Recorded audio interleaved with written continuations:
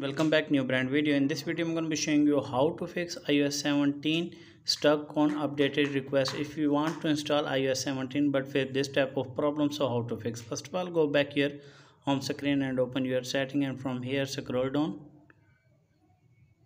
and click on wi-fi. And make sure that connect strong wi-fi connection turn on wi-fi toggle at least the third skin you have turn it on and go back if you use mobile data then turn on airplane mode at least the third scan you have turn it off. And after that scroll down and click on journal.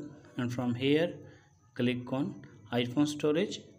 From here what you need to do delete useless app. And after that go back and click on date and time. And from here what you need to do it turn on this toggle. Set automatically. If the toggle turn off what you need to do it turn on this toggle.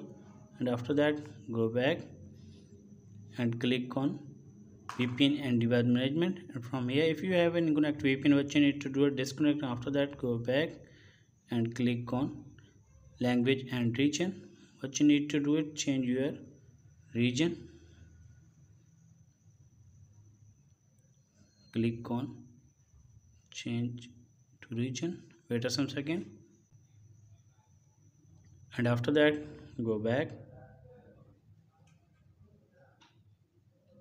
and scroll down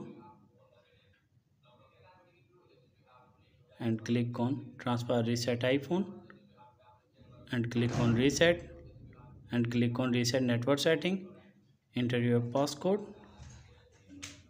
After reset network setting i hope your problem will be fixed. If this is helpful then like and subscribe my channel. If you have any problem share with me in the comments box. I will help you more. Thanks for watching